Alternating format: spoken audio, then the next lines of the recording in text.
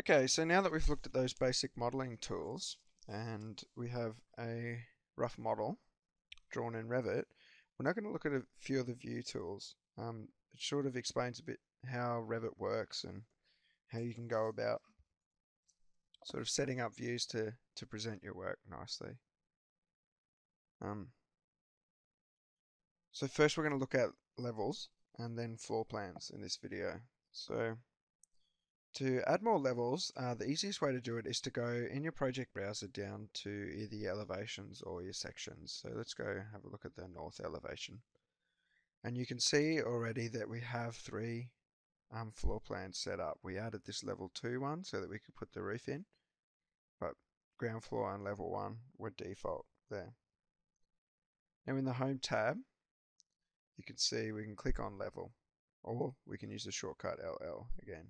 Now to add more levels to our project, so say we wanted to add maybe like a ceiling level, and we drop that down, you just click and move it, and so there's a ceiling level and then maybe, um, you know, a basement level or something like that, or for, for a carport, so. Um, and you can see at the time it's giving me a name and it's also giving me a number um, that's related to my RL. So this is two meters below, and it's called level four, but level four. But you can just double click on the name of that and change that to say basement. And when I hit enter, it'll ask if I want to rename the corresponding views. I always say yes to that. That just means that over in your project browser, it's going to change the name of that floor plan to basement as well. Um, and this one here we'll call ceiling. Um, yes.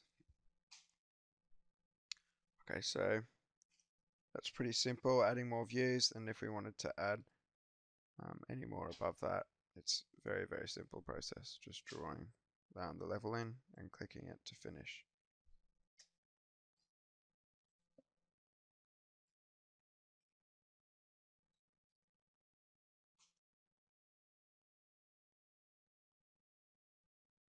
One other thing I'll show you with levels is that if you decide, so you can see at the moment that all these levels have a blue level head.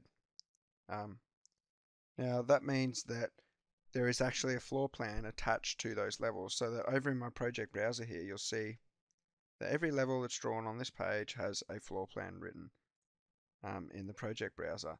Now if I decide to copy this level up, so if I just go CO for copy you can see at the moment it's got a black level head. Now that means that it, it doesn't actually have a floor plan attached to it and I can't actually go and click on that floor plan um, to attach, uh, to start drawing from that level.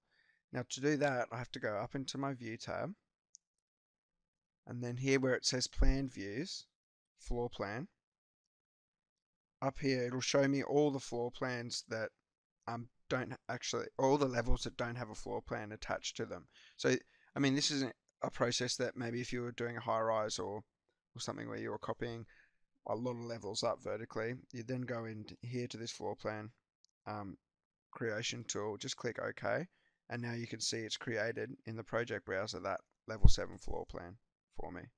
So if I close that and go back to my elevation, you can see my level head is now changed to blue.